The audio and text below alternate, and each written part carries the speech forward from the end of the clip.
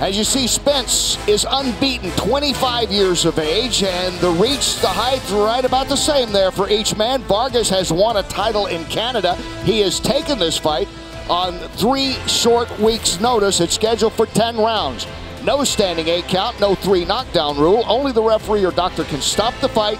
Fighter cannot be saved by the bell in any round, and the fight is official after the start of round six. Let's go to Michael C. Williams with the official introductions. Premier Boxing Champions now presents eight rounds of action in the welterweight division. The three judges ringside will be John Vasili, Alexa Roldan, and Robin Taylor. Your referee in charge of the action is Tony Chiarantano. And now first introducing out of the red corner. He wears the black trunks trimmed in red. Hailing from Toronto, Canada, he brings a professional record of 20 wins with just one loss, one draw. 10 victories by way of knockout. Introducing Samuel Vargas. And across the ring tonight, his opponent fighting out of the blue corner. He wears the white and navy trunks. Hailing from Dallas, Texas, he brings a professional record undefeated. 15 wins, no defeats, 12 victories by way of knockout. Introducing Errol, the Truth, Spence Jr.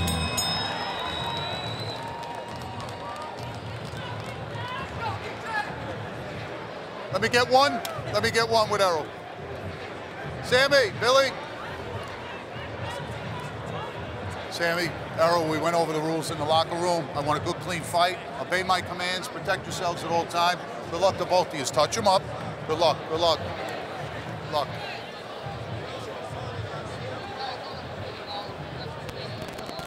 So for Errol Spence, a bit of a homecoming, a little stretch in saying that. He was actually born out on Long Island. He grew up in Texas, has family members in Alabama and Texas, but he said there's still some family members here in the New York area.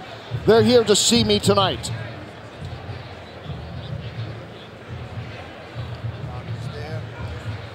And Vargas, pretty bold step for him. He's taking this on three weeks' notice against an undefeated Olympian who is a guy seen to be on the rise. And on top of that, he is a southpaw, as you can see, the man in the white with the blue. Makes it quite difficult, Kenny, with power, southpaw, with confidence.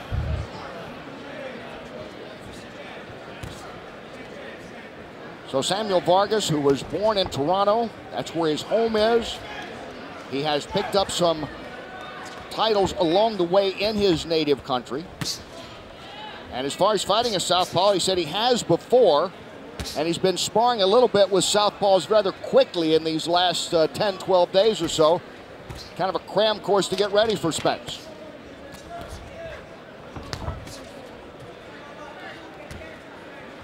Well, he's moving the right way. Against the southpaw, you move to your left. Stay, stay clear of his uh, straight left hand.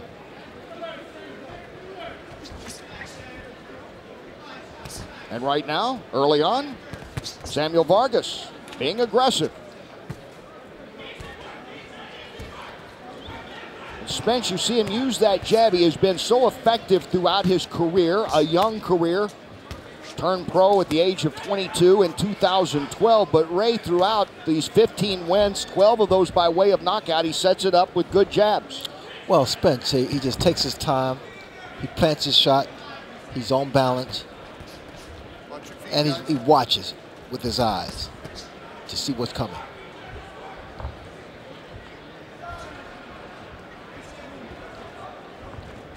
You see the concentration in Spence.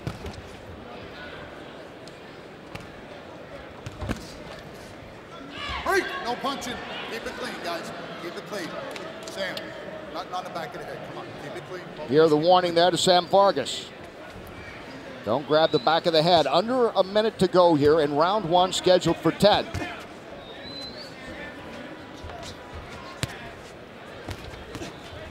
Many feel this will not be a 10 round fight, given the fact that Spence has been knocking people out almost in every fight, 12 of his 15 wins. Vargas, 20 wins, 10 of those coming by way of knockout.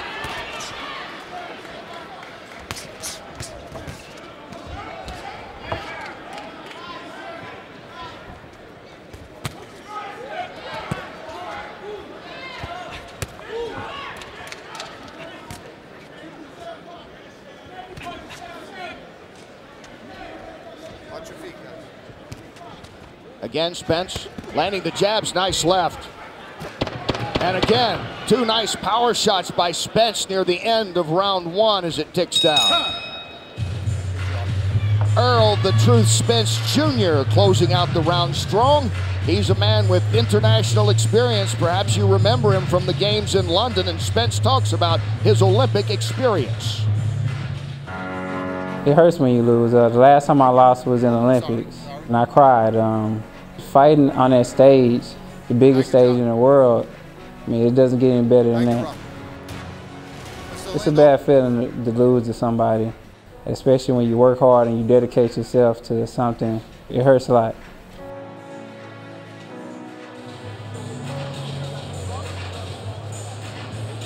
Well, guys, as many recall, the 2012 Olympics was a rough one for USA Boxing. The men's team went medalist for the first time in history, kind of a bottoming out for that Olympic boxing's most decorated program. Two members of that team, though, Errol Spence and Marcus Browne, are on this card tonight. Browne described it to me as a terrible experience, but there was a silver lining in that failure motivation. As Browne told me, I never want to experience that feeling again.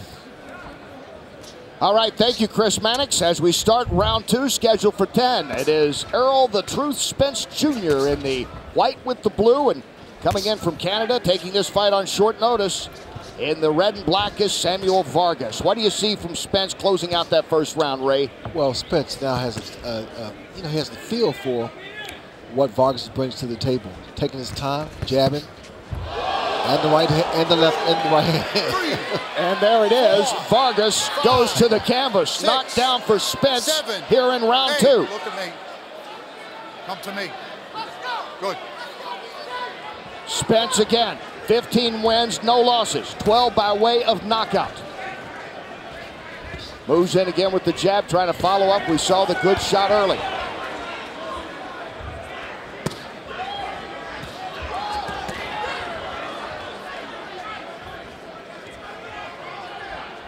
Talking to him yesterday, he's a very confident young man. He's a very confident young man, and uh, this fight should be pretty much over because there's nothing Vargas can do.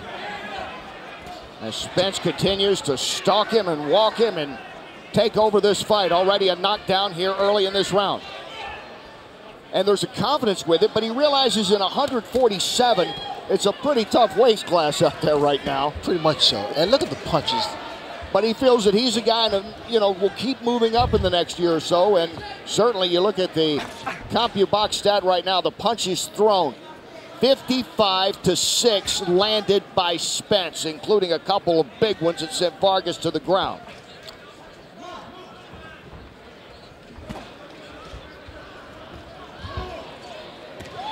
And a good shot to the body. Vargas is a man hanging on right now, Ray Leonard. Well, the thing about Spence, again, it went to the body, it, those variation of punches. He's a good student of boxing.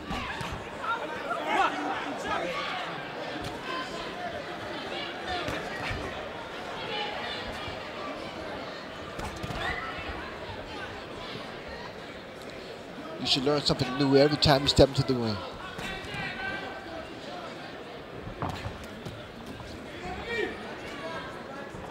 What's the biggest thing you would tell Spence right now if he said, Sugar Ray, give me your, your advice. How can I become the champ like you were? You know, right now, on, there's nothing that needs to be told. I mean, he, he's fighting the right fight here. One fight at a time.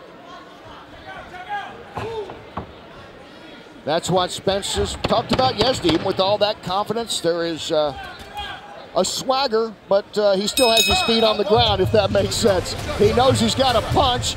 We've already seen it. Set up with the jab, and then down goes Vargas.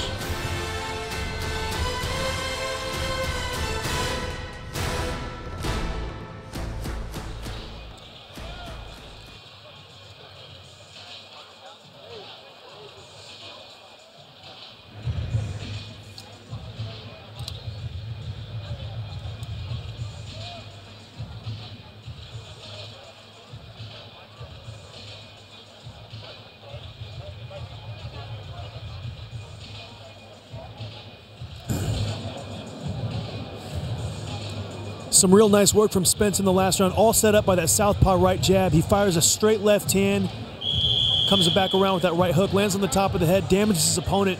Good work from Spence there. Another angle of it here. Double jab, left hand, beautiful right hook. Basic boxing. Always come back with a hook after the left hand. Good stuff from Spence. Thank you, BJ Flores. As we start this round three, it's scheduled for 10. Errol Spence Jr. in the white with blue. The former Olympian has been in control of this fight with Sam Vargas, the Canadian, who took it on short notice, had three weeks to get ready. Kenny Rice, Sugar Ray Leonard, Chris Mannix, BJ Flores, glad you're with us for Premier Boxing Champions here on NBCSN.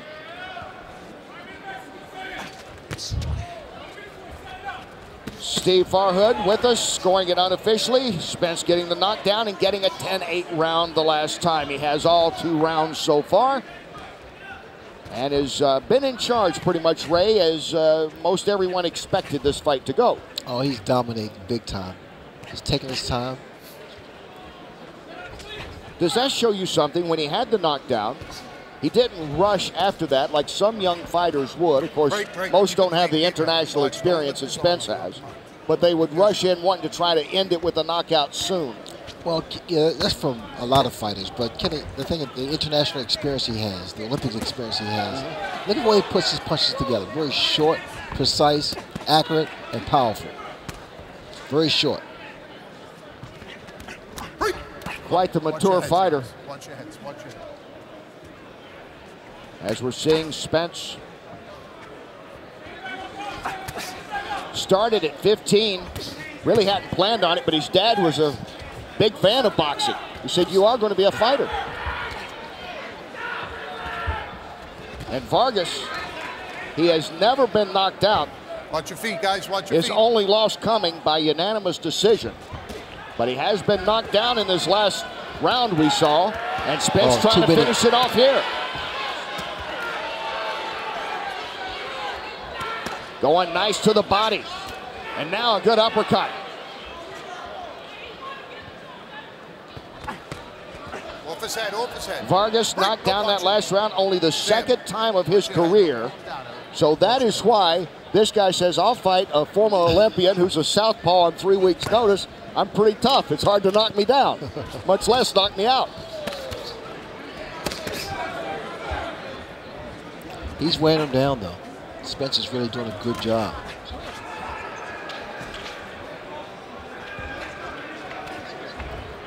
Spence hoping to change things here and be the first person to knock Vargas out. You notice as Spence comes down off his toes, that's power. It's all raw power. And you hear that nice dull thud that's showing that that's getting deep into the ribs sometimes, isn't it? Another good round for Errol the Truth Spence Jr.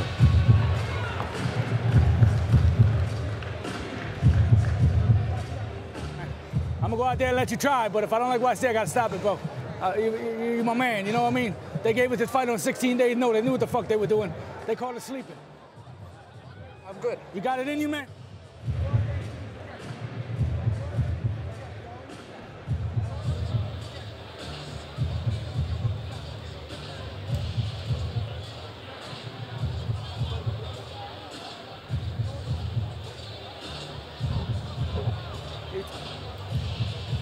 And welcome back to Barclays Center in Brooklyn. The premier boxing champions on NBC. There's Errol Spence taking on Sam Vargas. BJ, what about it? Some real good work from Errol Spence. He's got his man in the corner here and just flurrying. He's hit him with so many body shots, so Vargas isn't really sure where the punches are coming from. You just see Spence continually digging that right hook to the body, bringing that left hand back every single time and making Vargas pay every time he puts his back against the ropes. Kenny? Thanks, BJ. As we start round four, scheduled for 10, Vargas has never been knocked out. He's only been knocked down twice in his career, and once happened earlier tonight when Spence sent him to the canvas back in round two. Here's the punches through four 113, 114 now to 13 for Spence. We know one thing Vargas can take some punches, Ray. He can, but you also notice that Vargas goes against the ropes a lot now. That means he's getting a little tired, getting a little beaten up with these uh, shots. Let's check in with Chris. Derek Errol in total control out there. Got to be happy with what you're seeing. Well, I am. He's doing really well, and he's using the jab pretty good, so I am happy. He's shooting the right shots. When you have a guy coming out of the Olympics getting used to the pro style, what are some of the things you've been working on with him as a pro? Working with him on the jab and using his angles and good body shots and being intelligent. So every time, don't take every shot you see, but slow the pace down and pick your shots. So that's, he's doing pretty well. You always like a young fighter to get out of there early, but is it good for him to get these kind of rounds in a fight like this? Well, I really don't.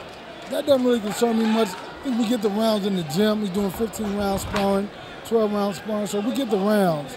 So doing this, it's okay, but you know, we really care about him working the right shots, and he's doing really well now. Good body shots. This guy's tough. Thanks, Derek. Derek James has taught him well. Very well. Body shots will be the culprit here.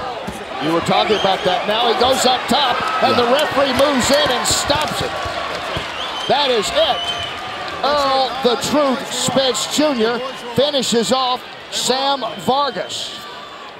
He worked the body, then goes up top. That is the end of the night, and for the first time, Vargas just getting worn out there.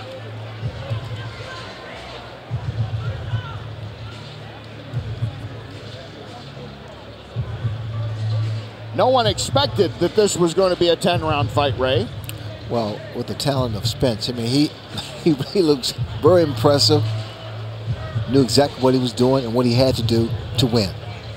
And as you pointed out, all those body shots, how effective they are. They take their toll. BJ, let's take another look at how Spence finishes off Vargas here with the TKO. Yeah, he's got him against the ropes here. Just more of the same. He's continually dug that right hook, that left hand into the body to the head. And Vargas got to the point where he was simply overwhelmed, outmatched.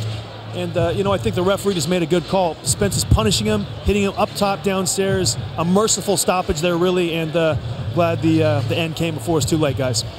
Spence had landed, had landed a hundred more blows than had Vargas. And most of them very effective these are the ones that seal the deal that keep Errol Spence undefeated at 16 0, winning for the 13th time by way of knockout. We'll hear from the former Olympian when we come back to Brooklyn.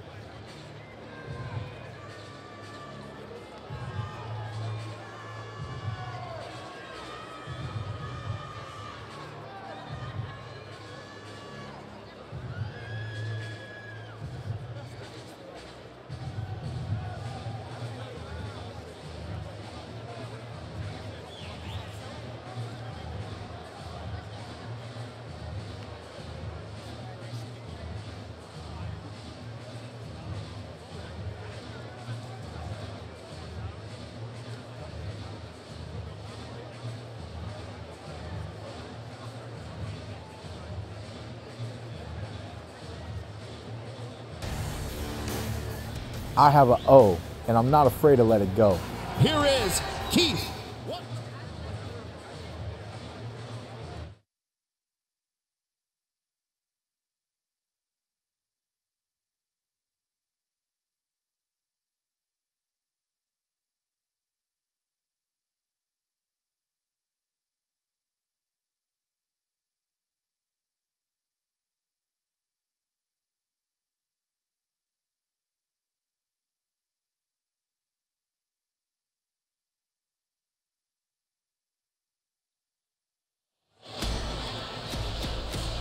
And welcome back Here's how they finish it off. Errol the True Spence still undefeated. For the first time, Samuel Vargas has been stopped. TKO victory for Spence. Let's get the official time. Go to Michael C. Williams. Ladies and gentlemen, inside the ring, the referee waves it off official time. One minute, 45 seconds into round number four. The winner by TKO, still undefeated, Errol, the Truth, Spence Jr.